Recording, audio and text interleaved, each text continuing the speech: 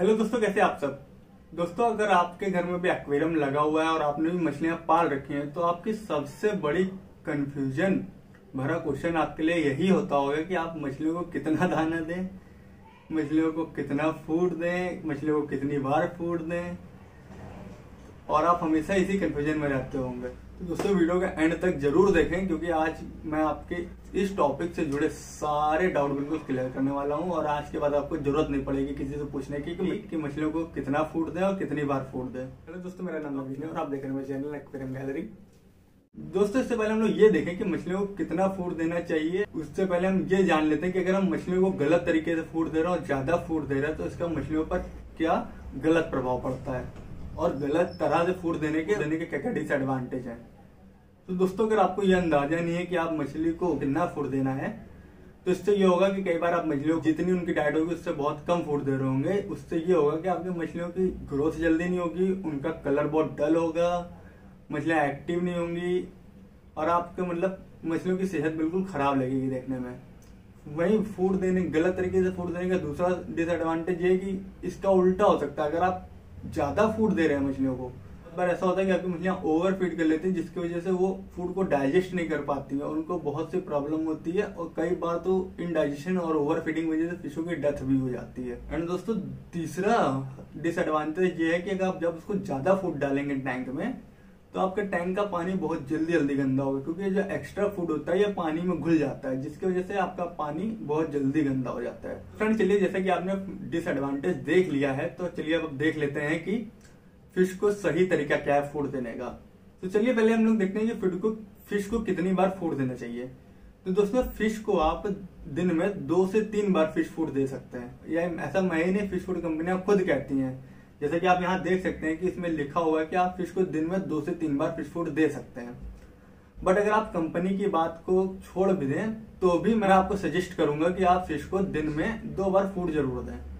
जैसे कि हम कोई भी अदर हम खुद इंसान हो या अदर पेट जो होते हैं, उनको दिन में दो बार ज़रूर फ़ूड देते हैं या हम खुद इंसान दिन में दो बार फ़ूड खाते हैं तो वैसे आप फ़िश को भी दिन में दो बार ज़रूर फ़ूड दें। हाँ बट ये ज़रूर ध्यान रखें कि आपको उसको फ़िश को किसी भी टाइम फ़िश फ़ूड ना दें। आप कोशिश करें कि फ़िश को एक रेगुलर टाइम पीरियड बना लें, उसके हिसाब से फ़िश को फ़ूड दें। जैसे कि आप कोशिश करें, जैसे कि अगर आप मॉर्निंग में नौ बजे फ़िश फ़ूड दे रहे हैं तो आप इवनिंग में रात में भी नौ बजे आप फ़िश को फ़िश फ़ूड दें। इससे आपका ये होगा, पहले फीडिंग के टाइम और दूसरे फीडिंग के टाइम में बारह घंटे का अंतर होगा, जिससे कि होगा, आपके फ़िश जो आपने मॉर्निंग में फ़ूड दिया होगा, उसको अच्छे से दिन भर में डाइजेस्ट कर लेगी। जिससे उसको डाइजेशन की प्रॉब्लम नहीं होगी। दूसरा फ़ायदा आपका ये होगा कि आप जब एक टाइम टेबल बना लेंगे तो आप फ़िश को जैसे बहुत से लोग होते हैं फ़िश को फ़ूड देना भूल जाते हैं तो उससे आप फ़िश फ़ूड को फ़िश को फ़ूड देना भूलेंगे नहीं, क्योंकि आपको याद पड़े, एक टाइमिंग बन जाएगी तो आपको अपने आप याद रहेगा कि आपको फ़िश का फ़ूड देना है। और एक बात और, आपने बहुत जगह अपने फ़िश फ़ूड या शॉप वालों से सुना होगा तो लोग कहते हैं, आप ट्वेंटी फोर आवर में एक बार फ़ूड दें। बट बट मेरा मानना यह है कि आप फ़िश को दिन में दो बार फ़ूड ज़रूर दें। क्योंकि आप अगर शॉप वाले की बात करते हैं तो शॉप वालों की पहले बात कि उन, वो फ़िश को एक बार फ़ूड दे सकते हैं, क्योंकि उनकी कंडीशन ही अलग है, क्योंकि उनके पास पहले बात तो फ़िश की क्वांटिटी बहुत ज़्यादा होती है।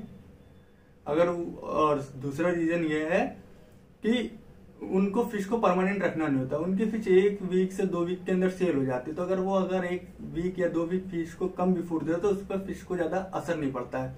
लेकिन आपको क्योंकि घर में रखना है, आप एक लंबे टाइम पीरियड तक फ़िश को अपने घर में रखेंगे तो आप हमेशा उसको दो बार फ़ीड ज़रूर दें।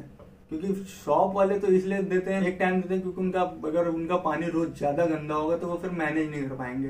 एंड अगर आप ये सोच रहे कि आप फ़िश को दो बार फ़ूड देंगे या ज़्यादा फ़ूड देंगे तो आपका पानी जल्दी गंदा होगा तो इसकी चिंता मत करिए। क्योंकि मैं आपको क्वांटिटी बता रहा हूँ। अगर आप उस क्वांटिटी में फ़िश को फ़ूड देंगे, जो आपके टैंक का पानी जल्दी गंदा होगा। तो चलिए ये देख लेते हैं कि आप फ़िश को एक बार में कितना फ़ूड देना चाहिए। तो दोस्तों फ़िश को कितना फ़ूड देना चाहिए इसका मतलब कोई अंदाज़ा नहीं है। क्योंकि मैं आपको ऐसे नहीं बता सकता कि आप फ़िश को एक बार में एक चम्मच दीजिए, या एक ढक्कन दीजिए, या इतने दाने दीजिए, क्योंकि ये गलत है। क्योंकि मैंने देखा नहीं आपके टैंक में कितनी फिशें हैं, आपकी फिशों का साइज़ क्या है, फिशों की क्वांटिटी क्या है। तो अगर कोई आपको ये बोल रहा है कि आप अपने फ़िश को आठ दाने दीजिए, दस दाने दीजिए तो ये तरीका बिल्कुल गलत है, बिल्कुल एक तरीके से पूरी पूरी हवा बाजी तो आप इस पर बिल्कुल मत जाइए, क्योंकि ऐसे फ़िश को, बिना फ़िश को देखे या क्वांटिटी को देखे, अंदाज़ा लगाना बिल्कुल गलत होता है, क्योंकि ये ट्रिक सभी फिशों पर अलाउ नहीं होती है। क्योंकि जैसे कि एक एग्जांपल ले लीजिए, हो सकता है आपको बेटा फ़िश है और आप उसको एक बार में सात से आठ फ़ूड दे रहे हैं, दाने पैलेट दे रहे हैं तो ये उसके लिए हो सकता है ओवर फ़ीड हो जाए, ज़्यादा हो जाए।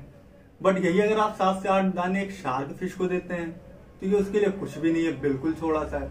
तो इन हवाबाजी के चक्कर में अपना पड़िए। मैं आपको बिल्कुल सही तरीका बता रहा हूँ। इस तरीकों को अपनाकर आप आराम से अंदाज़ा लगा सकते हैं कि आपकी फ़िश एक बार में कितना फ़ूड खाती है। फ़िश को फ़ूड देने का सबसे आसान तरीका यह है कि आप फ़िश को एक बार में कभी भी ज़्यादा क्वांटिटी में दाने मत दीजिए। आप उसको हमेशा थोड़ा थोड़ा क्वांटिटी में दाना दीजिए। और ये देखें नोटिस करें कि फ़िश उस दाने को जल्दी से जल्दी तुरंत खा के खत्म कर दे। और जब आपकी फ़िश फिट को फ़ूड को तुरंत खा के खत्म कर दे तो आप उसमें फिर थोड़ा सा दाना ऐड कर दें। तो जब ऐसे, आप ऐसे दो तीन बार उसको थोड़ा थोड़ा दाना डालेंगे लगातार तो एक एक टाइम के बाद फ़िश उस फ़ूड को खाना बंद कर देगी और फ़ूड एक्स्ट्रा टैंक में तैरने लगेगा। और आप ऐसा लगातार दो तीन दिन तक करिए कि आप पहले फ़िश को फ़ूड दीजिए थोड़ा थोड़ा क्वांटिटी में करके दो तीन बार में और नोटिस करिए फ़िश आपका कितना फ़ूड खा रही है और कितना फ़ूड वो एक्स्ट्रा छोड़ दे रही है। तो आप जब दो तीन दिन तक ऐसा करेंगे तो आपको एक क्वांटिटी मिल जाएगी कि आपको अंदाज़ा मिल जाएगा कि आपकी फ़िश एक दिन में इतना फ़ूड खा रही है। कि जैसे आपने थोड़ा थोड़ा करके डाला है तो आपको पता चल जाएगा आपने थोड़ा थोड़ा करके एक बार में इतना फ़ूड डाला है जो कि आपकी फ़िश खा के खत्म कर दे रही है। तो फिर आप आगे से यही करिए कि आप अपनी फ़िश को रोज आगे फ्यूचर में अपनी फ़िश को दोनों टाइम उतनी उतनी क्वांटिटी में दाने डालते रहे। लेकिन ये ज़रूर ध्यान रखें, जो एक्स्ट्रा फ़ूड पानी में बच जाता है उससे पंद्रह मिनट बाद वो एक्स्ट्रा फ़ूड ज़रूर आप टैंक से बाहर निकाल दें। क्योंकि वही एक्स्ट्रा फ़ूड बाद में आपके टैंक के पानी में घुल जाता है, जो कि आपका पानी को बहुत जल्दी गंदा करता है। तो आप उस एक्स्ट्रा फ़ूड को ज़रूर निकाल दें। एंड जो फ़ूड की क्वांटिटी आप दो से तीन महीने बाद चेंज कर सकते हैं, क्योंकि आपके फिशों के साइज़ बढ़ेगा तो हो सकता है तो उनकी डाइट और बढ़ेगी। लेकिन एक नॉर्मल टाइम पीरियड के लिए आप आराम से अंदाज़ा लगा सकते हैं कि आपकी फ़िश एक बार में कितना फ़ूड खाती है। तो, तो दोस्तों आज की वीडियो में बस नहीं मिलते हैं चलिए नेक्स्ट वीडियो में। अगर आपको वीडियो मेरा अच्छा लगा हो तो वीडियो को लाइक करिए सब्सक्राइब करिए और चैनल को शेयर करिए। तो चलिए मिलते हैं नेक्स्ट वीडियो में। धन्यवाद।